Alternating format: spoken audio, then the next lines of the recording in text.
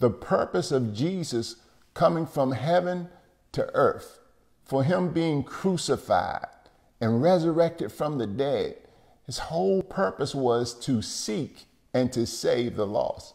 And since we are his disciples, and since we are his followers, and since Jesus is our role model, then his purpose ought to be our purpose. And his desires should be our desires. Praise God. God's desire is for you to reconnect people back to Jesus. It's all about the people.